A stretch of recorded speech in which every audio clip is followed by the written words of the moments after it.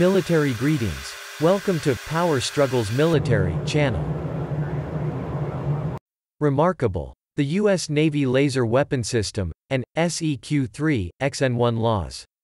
The AN SEQ-3 Laser Weapon System or XN-1 laws is a laser weapon developed by the United States Navy. The weapon was installed on USS Ponce for field testing in 2014. In December 2014, the United States Navy reported that the laws system worked perfectly against low-end asymmetric threats, and that the commander of Ponce was authorized to use the system as a defensive weapon. They just come back away from 5-1 or they're going to illuminate down there today. 1. Purpose Laser Weapon System, LAWS. The LAWS is a ship defense system that has so far publicly engaged an unmanned aerial vehicle, UAV or drone, and a simulated small boat attacker. LAWS uses an infrared beam from a solid-state laser array which can be tuned to high output to destroy a target or low output to warn or cripple the sensors of a target. One of its advantages over projectile weapons is the low cost per shot. Each firing of the weapon requires only the minimal cost of generating the energetic pulse. By contrast, ordnance for projectile weapons must be designed, manufactured, handled, transported, and maintained, and takes up storage space. The laws is designed to be used against low-end asymmetric threats. Scalable power levels allow it to be used on low power to dazzle a person's eye non-lethally to turn away a threat, and to be used at high power, up to 30 kilowatts, to fry sensors, burn out motors, and detonate explosive materials. By lasing a vital point, LAWS can shoot down a small UAV in as little as 2 seconds. When facing small boats, the laser can target a craft's motor to disable it, then repeat this against other boats in rapid succession, requiring only a few seconds of firing per boat. Targeting the platform is more effective than targeting individual crew members, although the laws is accurate enough to target explosive rockets if on board, whose detonations could kill the operators. Against a larger aircraft like a helicopter, laws can burn through some vital components to cause it to crash.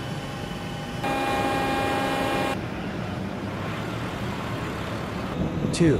History Laser Weapon System, LAWS.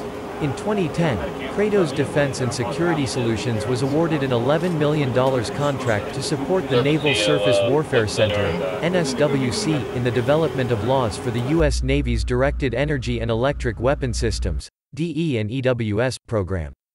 The May 2012 NSWC test used a close-in weapon control system to enable the beam director to track an unmanned aerial vehicle target.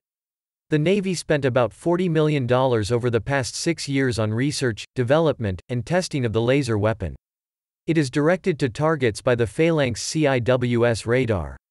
With tests going well, the Navy expected to deploy a laser weapon operationally between 2017 and 2021 with an effective range of 1 mile, 1.6 kilometers, 0.87 nmi. The exact level of power the laws will use is unknown but estimated between 15 to 50 kilowatts for engaging small aircraft and high-speed boats. Directed energy weapons are being pursued for economic reasons, as they can be fired for as little as $1 per shot, while conventional gun rounds and missiles can cost thousands of dollars each. The Navy has a history of testing energy weapons, including megawatt chemical lasers in the 1980s. Their chemicals were found to be too hazardous for shipboard use, so they turned to less powerful fiber solid-state lasers. Other types can include slab solid-state and free electron lasers. The laws benefited from commercial laser developments, with the system basically being six welding lasers, strapped together, that, although they don't become a single beam, all converge on the target at the same time. It generates 33 kilowatts in testing, with follow-on deployable weapons generating 60 to 100 kilowatts mounted on a littoral combat ship or Arleigh Burke-class destroyer to destroy fast attack boats, drones, manned aircraft, and anti-ship cruise missiles out to a few miles.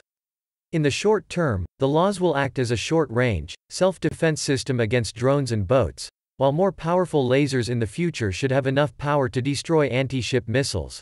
Navy slab lasers have been tested at 105 kilowatts with increases to 300 kilowatts planned.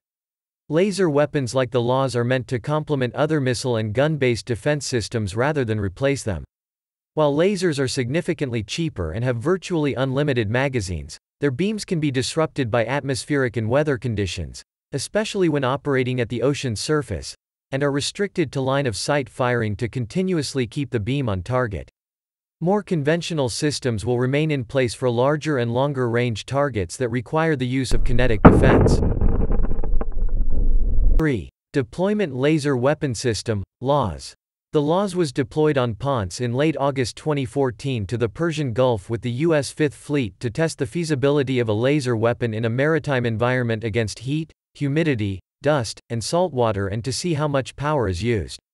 The system has scalable power levels to be able to fire a non-lethal beam to dazzle a suspect vessel, and fire stronger beams to physically destroy a target.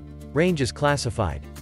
Although neighboring Iran has threatened to block the Strait of Hormuz using small boat swarms that the LAWS is able to counter, it was not designed or deployed specifically to be used against any one particular country.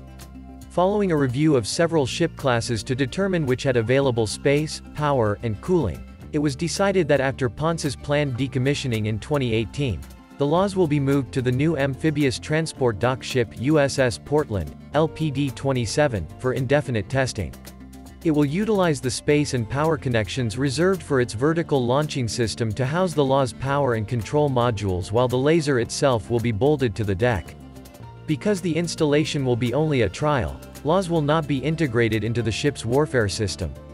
In January 2018, the Navy announced a $150 million contract with Lockheed Martin for the production of two more LAWS units to be delivered in 2020. One will be fitted to USS Arleigh Burke, DDG-51, while the other will be used for land-based testing. Further contract options could bring its value to $942.8 million.